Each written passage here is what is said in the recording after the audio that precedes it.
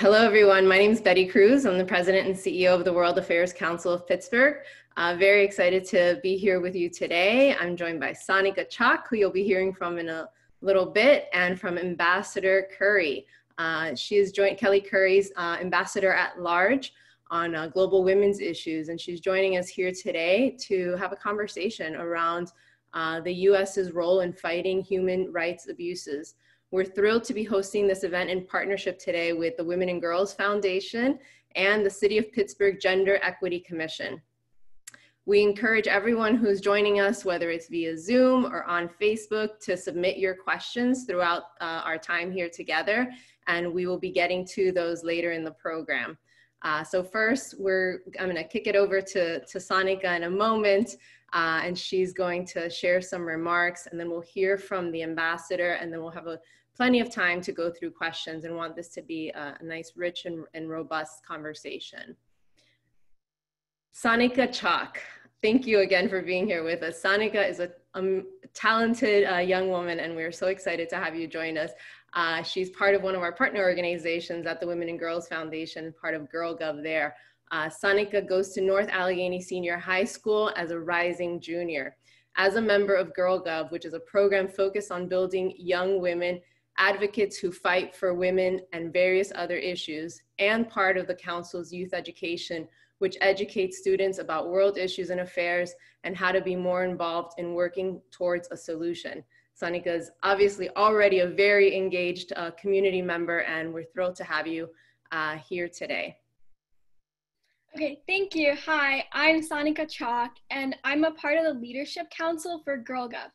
I'm interested in global issues because, as a daughter of immigrant parents, I know how a lot of other countries aren't nearly as privileged when it comes to women's rights as Americans are, and I want to change that. So I'm really excited to hear from Ambassador Currie speak, but first we'll show a video explaining the State Department.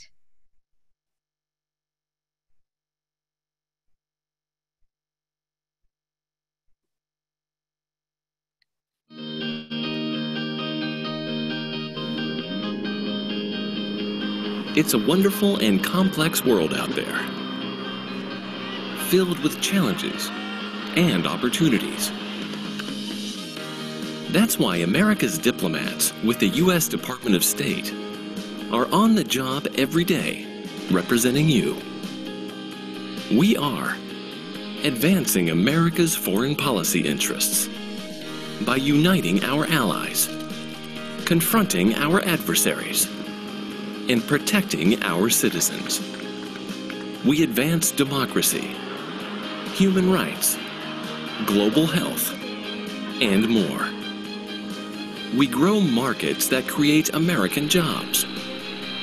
We are America's first federal agency, and we're in 190 countries at over 270 U.S. embassies and consulates, serving you. We are the United States Department of State.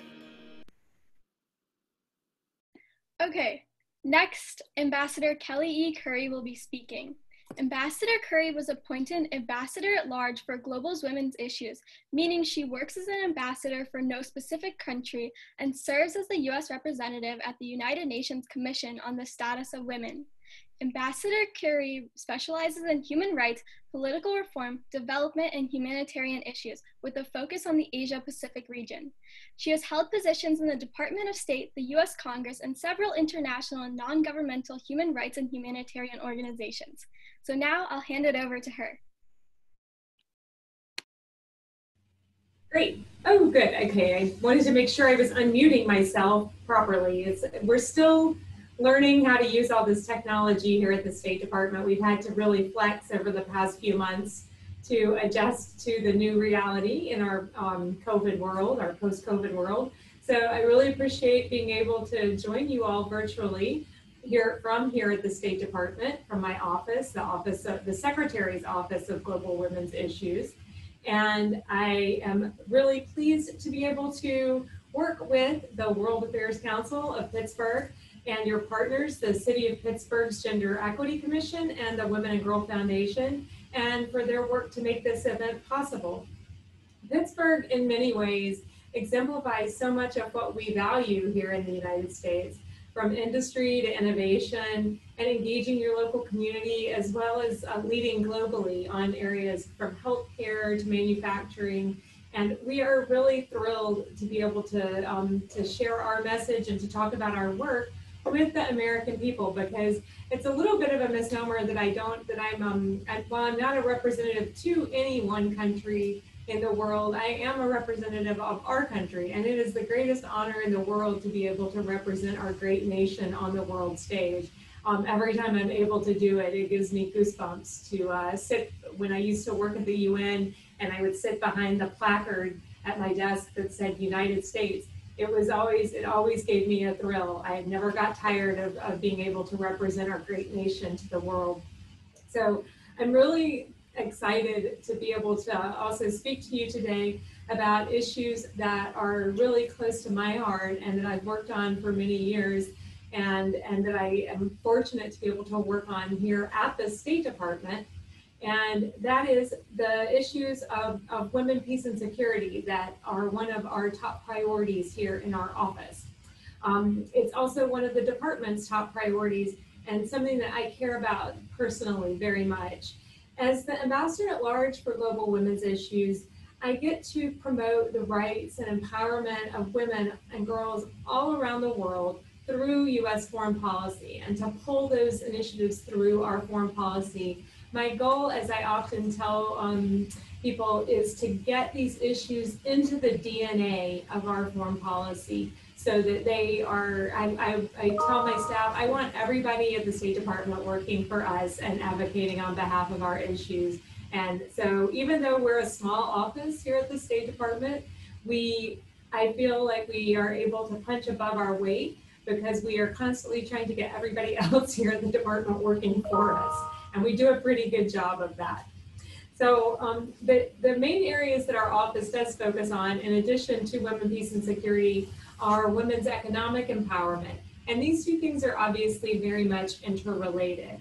It's, it's, um, it, it's hard for women to be able to, to work and, and participate fully in the environment and their um, economy if there is not peace and security and stability in their countries. And we've also seen that when women are not allowed to fully participate in the economy or in the political and social life of their countries, that those countries are often places that fall into conflict and have um, or have instability and and require um, U.S. attention in ways that is not necessarily very positive. So we work to make sure that these efforts are joined up, and we work across a number of cross-cutting levels too on issues like countering violent extremism and supporting women and girls who are at risk of violent extremism um, and also supporting women's political leadership and helping to support women and girls who are targeted or potentially victims of gender-based violence. So those are the issues that we get to work on here. Um, and we get to work with some of the most amazing partners around the world that you could ever imagine. Um, we work with a lot of grassroots organizations in countries that are in crisis and conflict and where women are trying to change that dynamic. And we work with these local organizations and these remarkable women every day. So it's really um, fantastic to be able to, to um, work with these women, these leaders all around the world from Afghanistan to Yemen and engage them, help them, help their, help magnify their voices and share their views on on how we can um, how we can support them and how they can help contribute to their countries, the betterment of their countries and their societies. So it's it's really critical. One of the things that we are very conscious of here is making sure that women's voices are heard and that their their voices and their empowerment is able to um, inform critical decisions in their own countries. Often we are um, able to help them to get a forum that they might not otherwise able might not otherwise be able to access because we insist on hearing their voices too. And we've done this through a variety of means. It's everything from our International Women of Courage Awards, which annually honor um, between 10 and a dozen women who have exhibited extraordinary acts of courage in their own communities and helped to advance the cause of women's um, women's rights or help to make some fundamental change in their society. And these women, um, we now have honored more than 144 women with this award over the past decade. And they are a powerful group of ladies who continue to work together and they strengthen each other through their engagement and they help give each other ideas and support. And um, this is just one example. We also have a range of programs we don't have a lot of funding that we directly manage in our office, but we do have a range of really interesting programs that we use to help support women um, across the different uh, activities that we, or across the different contexts where we can support them. We are working, for instance, I can talk a little bit about Afghanistan, which is a country that is really important to the United States. Obviously, it's a country where we're engaged in supporting inter-Afghan dialogue to help end the conflict there because we believe very strongly that the best thing for women and girls in Afghanistan who've suffered from decades of fighting and violence and instability and, um, and terror and, and repression, the best thing for them is, is a durable, sustainable peace that they have a role in helping to shape and craft. So we have been working to support women who are participating in the negotiations, women's organizations that are developing um, initiatives, and speaking out directly ourselves about the need for all parties in the Afghan inter-Afghan dialogue to respect the rights of women and girls and to protect the gains that have been hard fought and hard won over the past 20 years since um, the Taliban was removed from power in Afghanistan. So we have a very robust and cross-cutting suite of activities that we engage in um, on the economic side, on the political side, on training, and in, in our diplomatic engagement, both bilaterally in Afghanistan as well as with partners and through the United Nations. We are using all of our tools on that um, in that particular context. And the same is true in, in other places. As I mentioned before, Yemen is another context where we continue to, to um, try to use all the tools at our disposal to support the women of that country as they um, help to fight the, the fight for peace. And, and that often sounds like a strange way to put it, but that's literally what they're doing every day. So we, we support them and we, and we um, help them with a whole range of activities, including honoring recently uh, an, an, incredible young woman activist who helped, who has helped to rescue child soldiers in Yemen, and and has used her voice to help um, feel help the women in her community to develop their um, their rights and protect their rights. So we're we're really excited as as Secretary Pompeo often says that women around the world that women around the world do have an essential role in um, in helping us to prevent and end conflict in um, atrocity prevention in resolution and recovery from uh, disasters and other challenges and in the provision of security and in fighting terrorism. We fight one of the things that we really focus on in our office is there's a common tendency to um, base to, to approach women and girls as victims or to cast them as victims of, of forces beyond their control. We really are very careful to support women's voice and agency in our programming and to make sure that in our diplomatic initiatives that we are encouraging our partners to really listen to women and girls on the ground and hear their voices.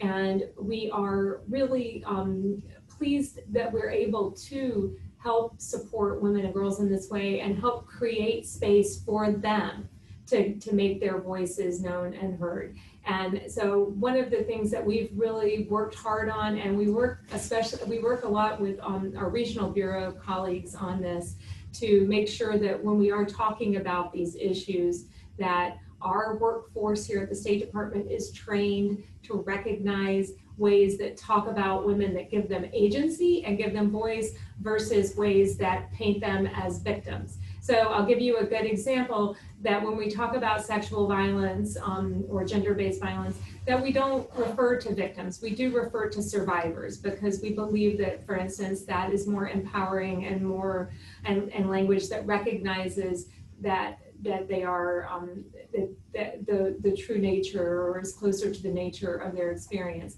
And we really try to um, make sure that we are listening as we develop our programs and as we develop our diplomatic engagement. So we're working across a whole, we're working, we get to work around the world. We can't solve all the problems of the world every day or um, deal with every single context that's out there all the time, every day. But we do try to focus on the areas where we feel we can make the most difference, where our engagement can have the greatest impact, and where we can help um, provide that, that opening that that women and girls, and especially in, in fragile and conflict affected states, are able to take advantage of, uh, they can take advantage of that space after we help to create it. Um, this year, we're really celebrating and marking the the 20th anniversary of the UN Security Council Resolution 1325, which set the framework and put on the Security Council's permanent agenda the Women, Peace, and Security um, agenda item. And we use that as our guidepost, both to measure how far we've come, which is substantial, that there, there is this whole community of practice around women, peace, and security, and it's global, it's local in, in countries around the world.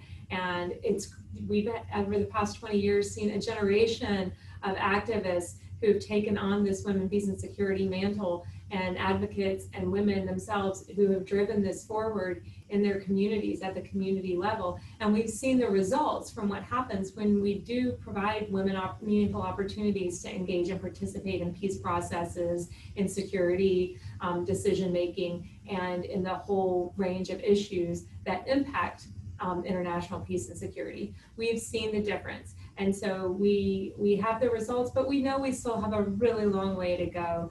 The United States um, in 2017 became the first country in the world, for example, to have national level legislation on women, peace, and security when Congress passed and President Trump signed the 2017 Women, Peace, and Security Act.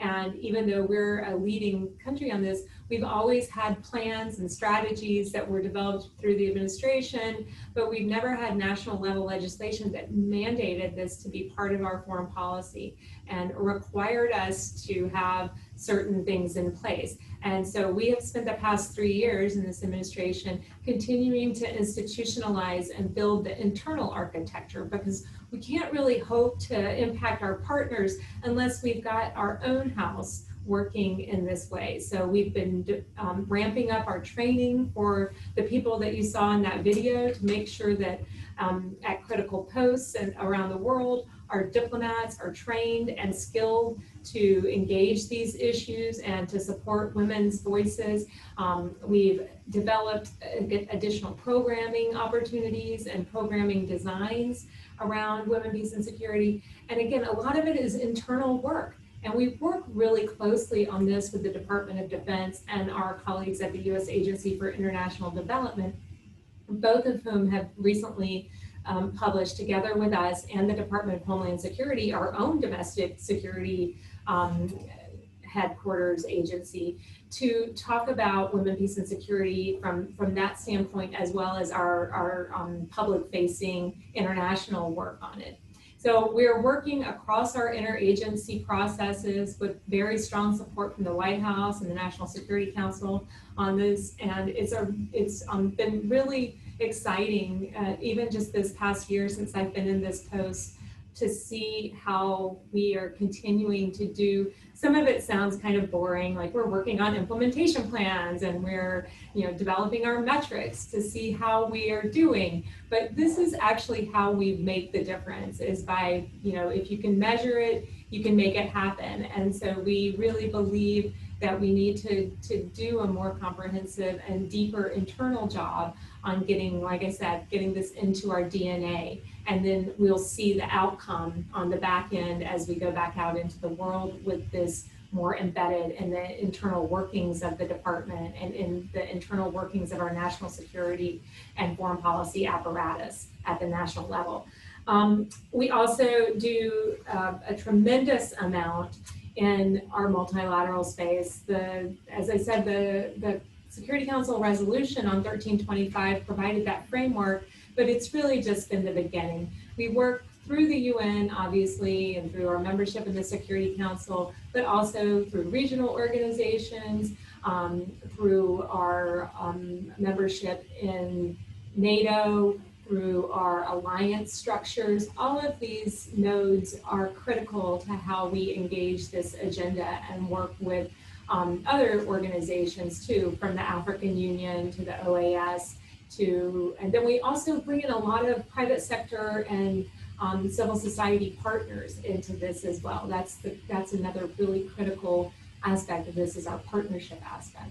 So I would encourage everyone to go on to the State Department's website and check out our implementation plan for women, peace, and security. It goes through some of the guiding principles that we talked about that I talked about today, such as you know making sure that we are empowering women's voices and agency, that we are targeting our our um, work on those contexts where we can have the, the greatest impact and where it's most needed, and and some of the issues such as that.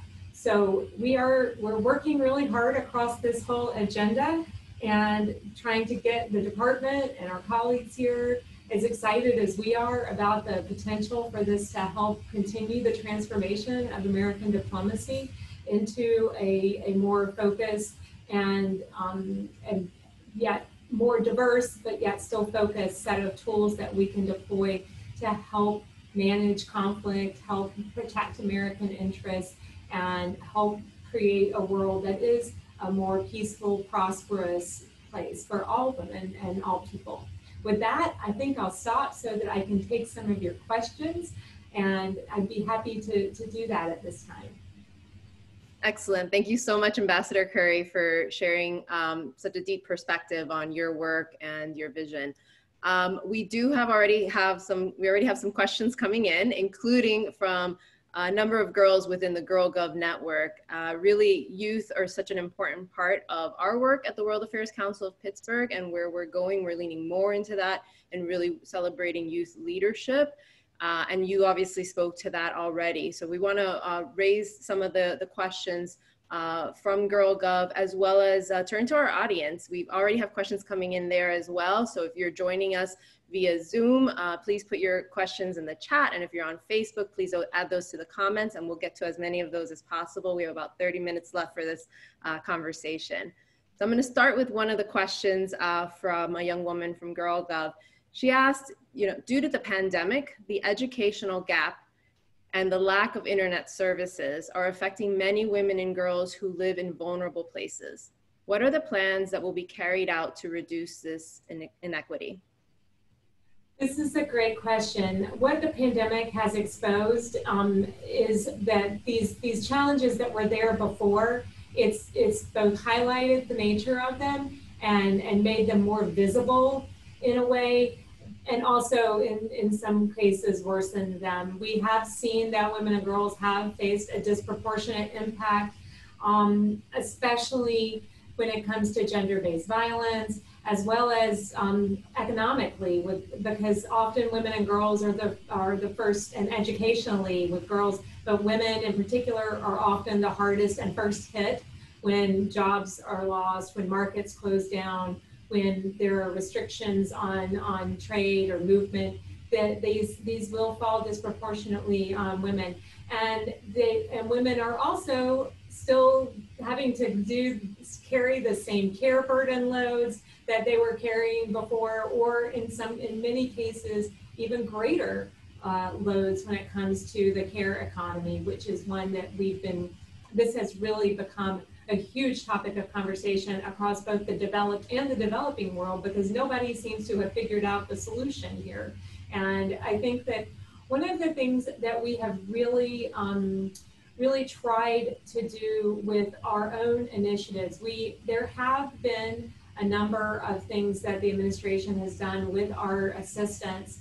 You know, obviously we've focused a lot of our assistance on frontline issues to deal with the public health crisis from from this pandemic, and um, but we are also working really hard to pivot our existing engagements to make sure that they are responsive to the current situation. The digital divide is obviously a huge issue. Um, it became it's become even more problematic for especially as schooling has moved online and other issues. And I mean, just day to day in my own work, as I, as you know, as we try to maintain our contacts with our partners in countries where the internet has has become much much more strained or weaker and is, is facing greater greater challenges. We see it firsthand in our work every day as well. So we're very cognizant of it. Um, it's going to require a lot because there's there are a lot of infrastructure issues that go along with this. It's it's going to require long-term solutions. In the meantime, we're working with a lot of technology companies as part of our initiatives, including um, with our Women's Global Development and Prosperity Initiative. We are working with Microsoft, with MasterCard, to help make sure that um, that online banking services, that other critical services are available to women entrepreneurs, to um, and to to the participants in our programs.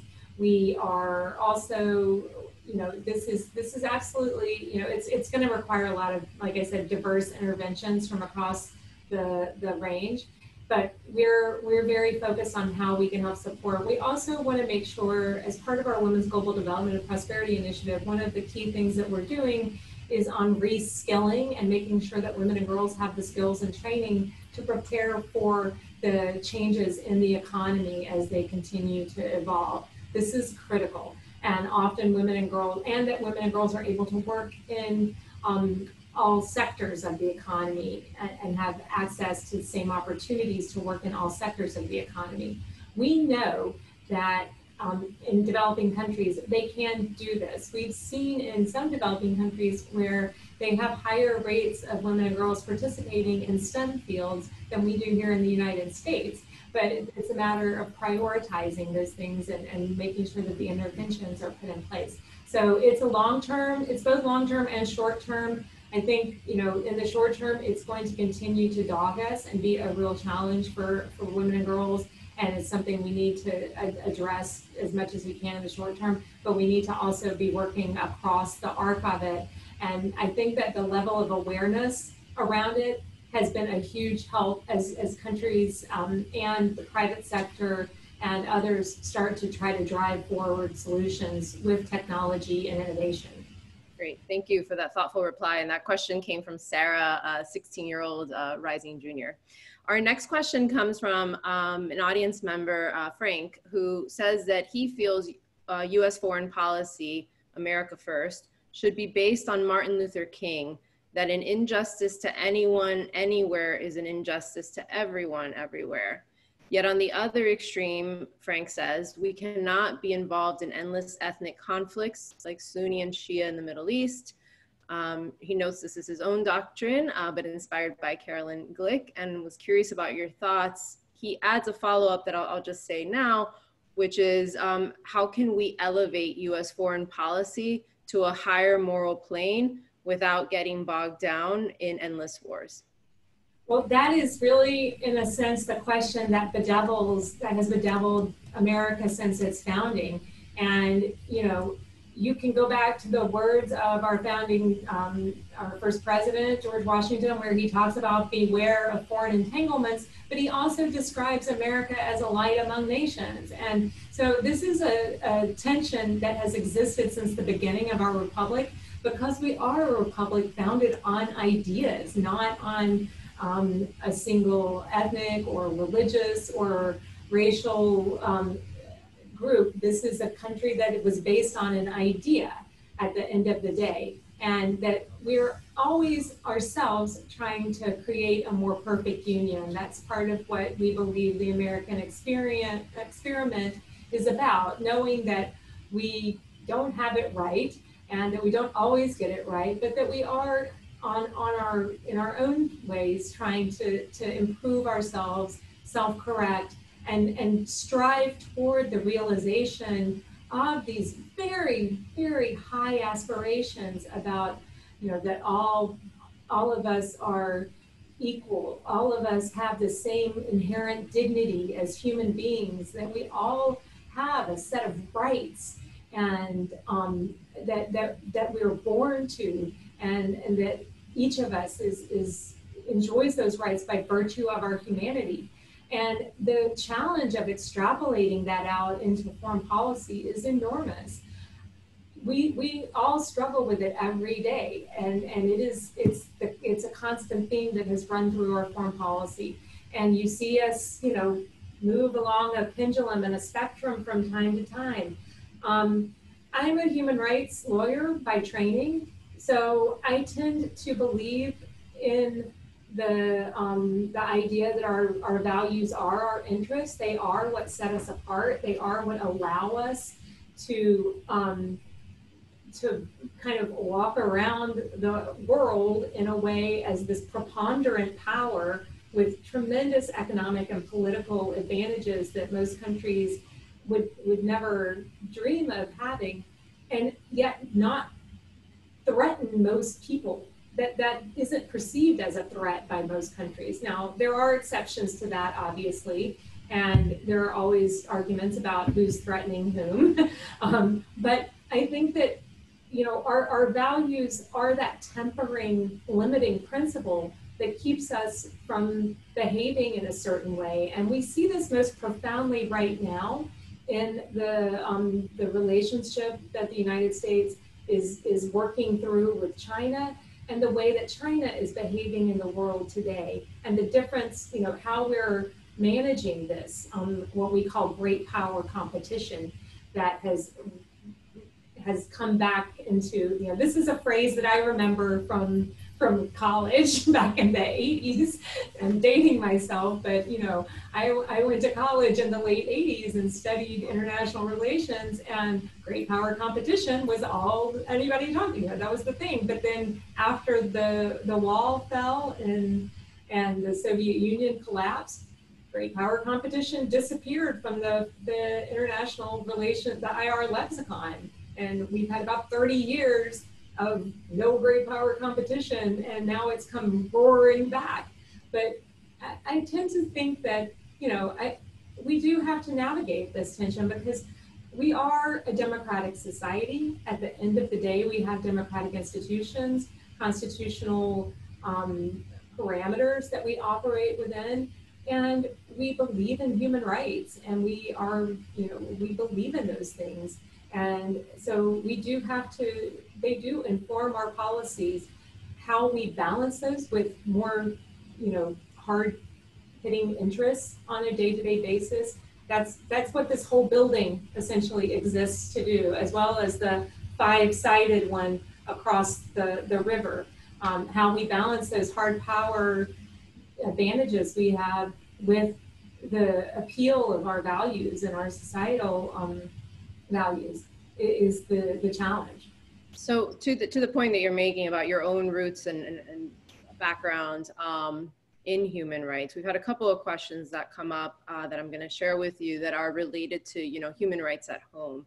And I know there was a great piece about you that was written in the 20, 2019 Foreign Policy magazine as you were being appointed uh, and talked about your, your roots and, and, and how you've advocated on this topic and the fact that your role as ambassador at large is a newly created role by the previous administration Okay. And um, well, newly in in that regard, not hasn't it's been around about ten years now. yeah, I guess I guess we're almost ninety at the World Affairs Council, um, and uh, what I'm thinking newly, I, I'm thinking yeah, in a little bit more recent history. But the past administration, President Obama created this role, and President Trump has has upheld it. And as it relates to your your training, your experience, your passion around human rights, I'm going to uh, join a couple of the questions that we've received from the audience, from Jessica and from Megan, asking how can women around the world truly be equal when the current administration has cut, cut funds for family planning? A follow-up question uh, was around how are you supporting women in America specifically, uh, particularly Black women? particularly now in the midst of violent extremism being carried out against Black communities. And um, I don't want to mince any words. Those are the questions as as they came in, and would love to hear your thoughts. Um, so on the first question, I think I just have to kind of push back a little bit on the premise. The United States remains the world's largest supporter of family planning assistance by a factor. I mean, it's not even close. And we continue to provide comprehensive and voluntary family planning to women around the world. Um, and it's one of the large, it remains one of the largest parts of U.S. foreign, foreign assistance of, of the budget is um, voluntary family planning assistance. So the idea that we have stopped or, you know, there, what we, what this administration does not believe in and what we are bound by law not to do is not provide assistance to organizations that support or provide abortion. Um, we, this is a pro-life, an unapologetically pro-life administration. And the, the law of the land is that foreign assistance cannot be used to provide or promote abortion. Um, over time, the vigor which with, with which different administrations approach that issue waxes and wanes depending on the, the views of the administration. This is a pro-life administration. We are pursuing a pro-life foreign policy. Um, and I would encourage anybody who does want to understand it to look at the policy the, um, on protecting life and global public health that we have that the USAID has published on their website, and that has all of the information about it. We do not, and I will, I can tell you from my own conversations with UNFPA, the UN Family Planning Administration, um, agency uh, that that we have had to restrict funding to UNFPA because UNFPA continues to maintain a relationship with China's coercive family planning apparatus. Um, and the, the wisdom of that decision has become ever more clear in recent months as we continue to get ever more disturbing reports out of China about what is happening and what that administration is doing to curtail um, births and, and, and, particularly target minority, ethnic minority, and religious minority women in Western China, Uyghur minority, Kazakh, um, these, these minority women for extreme and very coercive birth control. And it's this voluntary versus coercive element, as well as the issue of abortion, promoting and, and providing abortion, that does differentiate us from some, you know, providers, some donors around the world that in terms of how we approach our family planning assistance. But we do insist that family planning assistance be voluntary, first of all. And in China, it is often not. And the UN has refused to stop cooperation with the Chinese Family Planning um, Agency and apparatus that is very coercive and increasingly targeting its, its very coercive, powerful coercive apparatus at an extremely vulnerable minority. So we we we don't apologize for that decision at all. Um, on the other issue, first of all, I do have to say that when I worked at the State Department during the Bush administration, this office existed. Um, it was not at the ambassadorial level. There was a senior director who said this office has actually existed since the Clinton administration in the 90s. It's been around for uh, almost um, I want to say almost 20 years now, um, but it's it's been around for a while, actually, just in different iterations. And we have had an ambassador at large now for, or it's been headed by an ambassador at large for about 13 years. So that's, um, and I'm proud to, to be able to continue that tradition. I know my predecessors um, and, and have great respect and admiration for them. Um, on the on the issue of, of domestic, um, how, how our work relates to the domestic challenges that this country is facing, well, I can talk a little bit about our own office is very diverse, obviously, and the State Department as a whole is, is very diverse. It is very important to the Secretary, and he talks about this quite a bit, that the department accurately and, and, and um, positively reflect the diversity of the United States and how important it is that when we do go out into the world to represent this country, that, that we have a department that looks like America. And we are doing a really great job on that. Um, our workforce is 44% women, which tracks with the private sector average and is, is excellent considering the, you know, some of the challenges that, that historically this building, I mean, it hasn't been that long in the State Department since married women were not allowed to serve in the Foreign Service because they, you know, it, there it was there was a strict prohibition on married women serving in the foreign service, and it has not been that long since that was the case. And so we started from a you know deficit, deficit position, but we're working really hard to um, on on diversity and inclusion in this department. The secretary has been a great leader on this, as well as the other senior leadership in the department.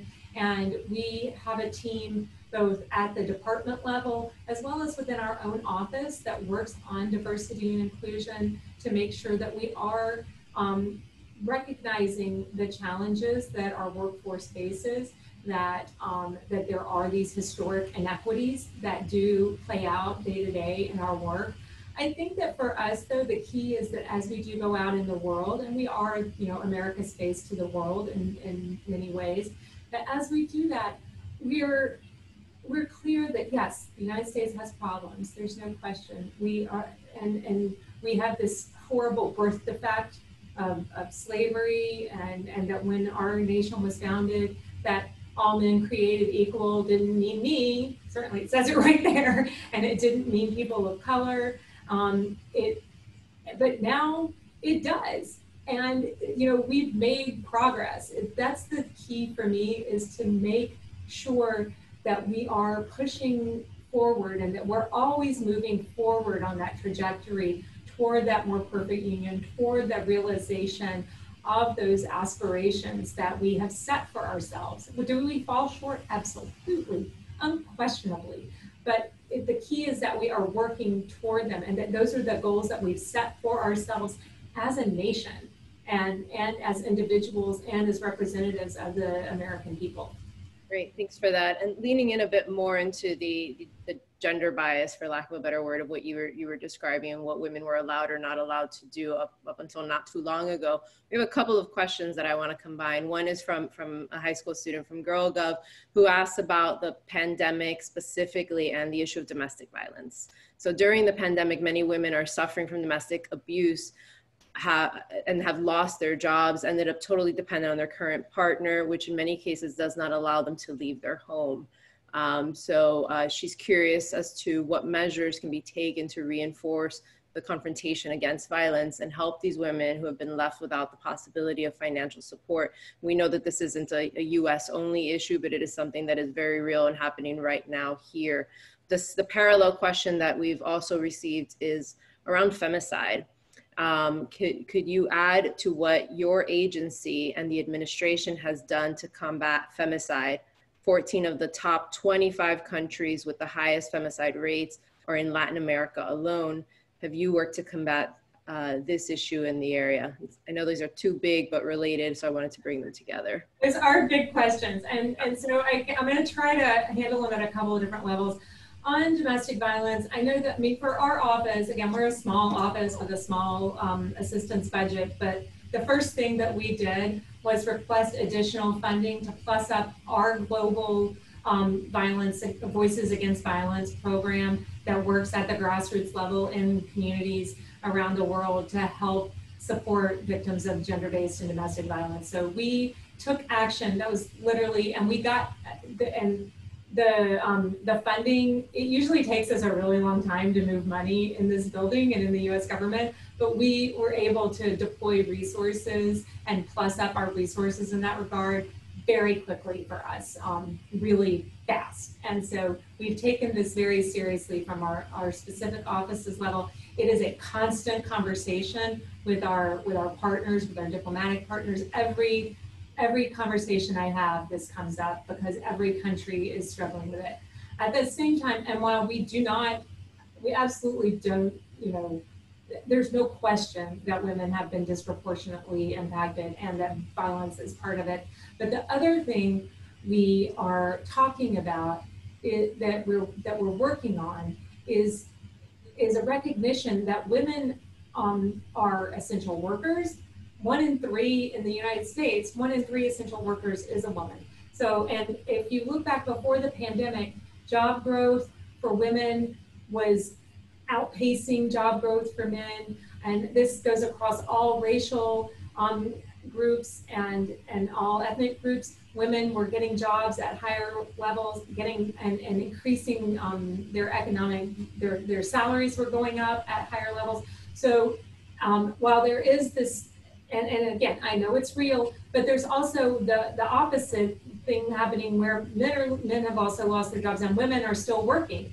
And so there have been some, I don't want to call them silver linings because I think that radically um, misstates what's going on here. But there have had to been some really critical shifts going on in households across the world where, you know, the the um, female partner still has a job, is out working, is an essential worker, and the male partner is at home with the kids, taking care of the kids and the household because mom is at work on the front lines every day. So in some respects, we've also seen a real flip in that narrative. And I think we have to recognize that as part of this too, and see that as, you know, as something that that helps us to, to come forward with better solutions as we start to get back into a more normal um, situation. And hopefully, hopefully some of the changes that have come about as a result of that will be more durable as well and, and that they'll allow us to address some of the longstanding inequalities that we've been dealing with. Um, as far as the, the femicide issue is definitely something that we are seized with, especially in, in Latin America and other countries. Um, and we see this as, you know, one of the things that we've been doing to, to address this is to make sure that women are able to take better control of their own destinies. And that when I what I mean by that is, for instance, I'll give you a great example. We have a program that we work on in Guatemala, and it's called um, Advancing Women Entrepreneurs. And it's a training program that we train cohorts of Guatemalan women um, it, through this wonderful module that is in Spanish. It was developed by Thunderbird, um, the School of Business, and and with a, a strong support from Freeport McMoRan, a, a, private sector mining company.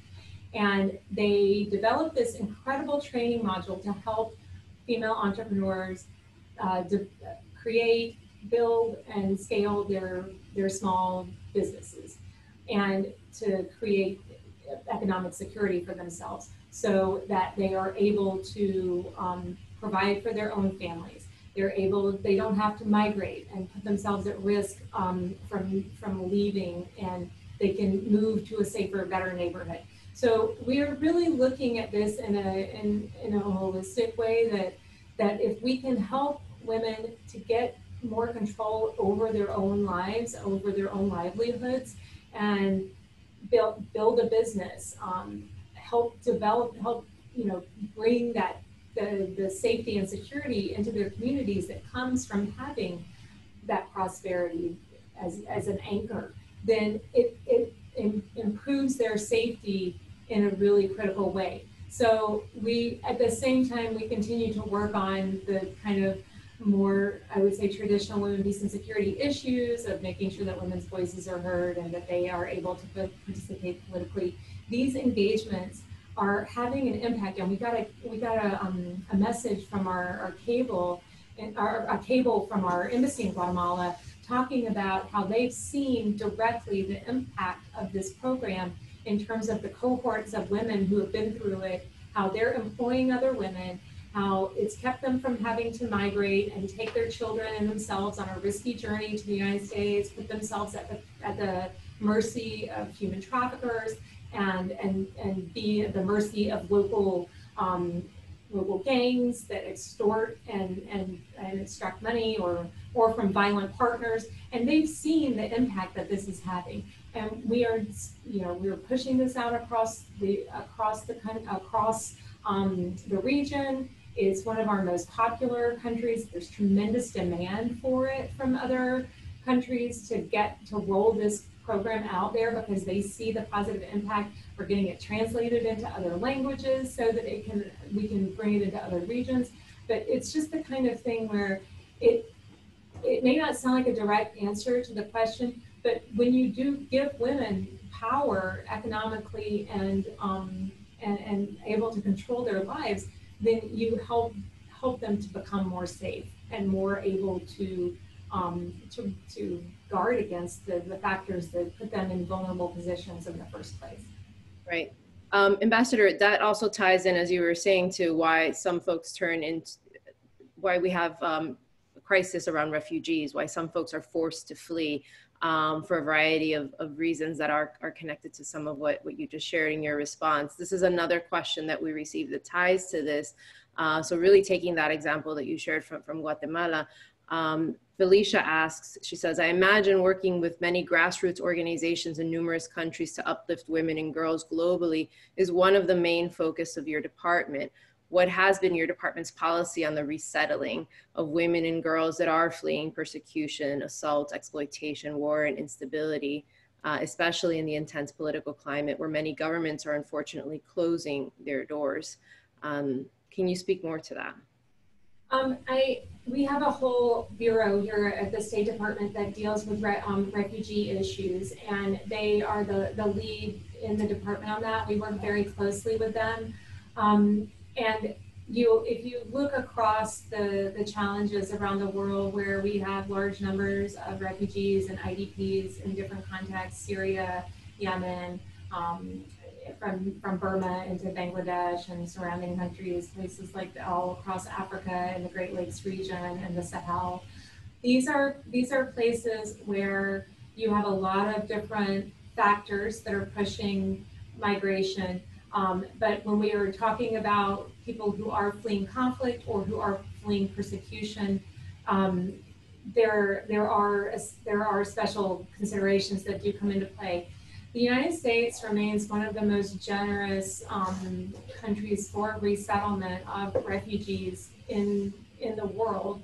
And you, we, but this year we are not going to meet our refugee quota because of the COVID crisis, and because we, and, and it's just, um, we haven't had the number of applications even to to to be able to process for the, this purpose, as I understand it. That's that was the latest thing that I heard. Again, I'm not up to, I don't have all the latest information, but I did hear that for our refugee quota for this year, we are going to fall short.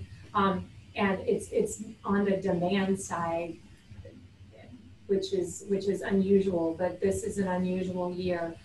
We continue to adhere to our responsibilities under the on, under the Convention on Refugees, and um, that we continue to recognize that people who are fleeing persecution have um, that we have a, a right to to or that we have an obligation to provide safety. Um, most most refugees, however, are not they don't make it to the United States as their country of first refuge, right? They're usually um, found in countries surrounding a conflict zone.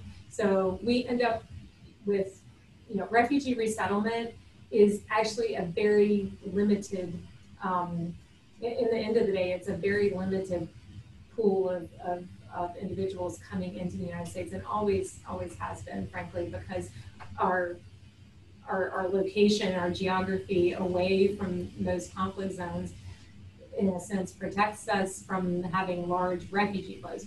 What we do have is other immigration and other migration challenges, but those are those are the, the purview of other departments here in the in the U.S. government. So I'm gonna sure. I'm not going to get into their uh, lane on this. I see that we're also running out of time. So we are running out of time and we have uh, to, to bring us to to a close we have a, a, couple of other we didn't get to every question we have a very engaged audience with many questions and we'll do our, our best to, to follow up um, but with with the, the few minutes that we have there have you've touched on leadership just now and we have received a couple of questions around leadership as well as um, engagement. So I want to I want to end with the point of like what can we do? What can folks who are listening in today, young people who are listening in today with their schools, um, and other ways that they're involved. But before we get there, if we can just take a step back and and this conversation around leadership.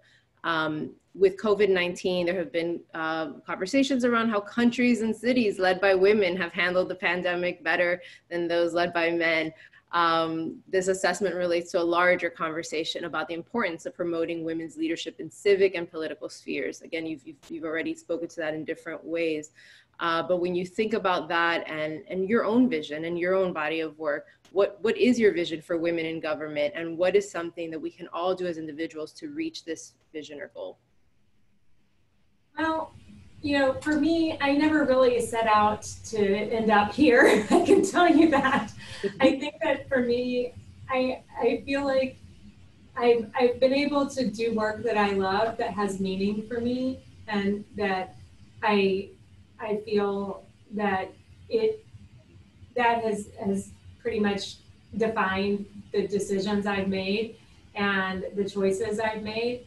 I also have you know, I, I think that when you are able to take advantage of those opportunities, you have to be, be prepared to, to grab them. And I've been really fortunate. I have an I have a wonderful partner in my husband who has been incredibly supportive. And I think that's, you know, it, it, it's not something that people always talk about, but it's so critical that you make the right choices about who you choose to spend your life with, and, and that that person is going to support you and allow you this to have the, the, the space to do those things. So that's, that's been really important for me.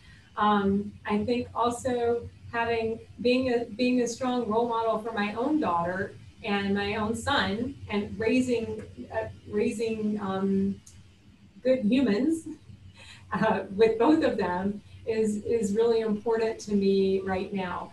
I think that you all are very fortunate to be living in a time where you have no shortage of incredible female role models around the world and at home who can help you to, to chart a, a, a course forward. Um, that has not always been the case.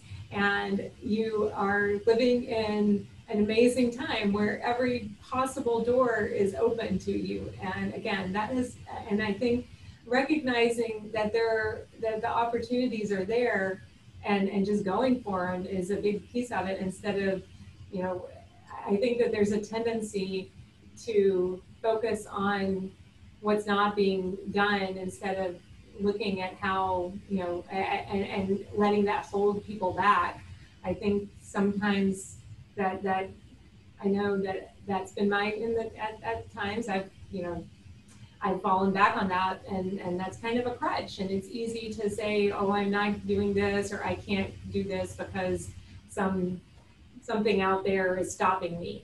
But this is a time where for women and girls, and girls in particular, and young women in particular, there's really nothing stopping you at this point. You live in a great, we live in an, an amazing time where you have such incredible opportunities to do anything and incredible um, women who have who cut the cut the path for you to to follow in and so i would just just take those opportunities Fantastic. I think you covered the point there of what our youth can do as well, and really appreciate your time today, Ambassador Currie, and appreciate the rich conver uh, conversation that we've had, as well as uh, the fact that this was guided by our audience. And there was many more questions we didn't get to, but we are going to be following up with everyone. Uh, we encourage you to complete the survey that we're dropping in the chat and on Facebook. And in our follow-up, we'll uh, connect with the ambassadors team as well if there's other uh, questions that they can elaborate on and any other resources we can point you to, we'll be sure to do so. Again, thank you so much, Ambassador, for your time today, and thank you all for joining us. Take care, everyone. Thank you. Have a great day. You too. Bye-bye.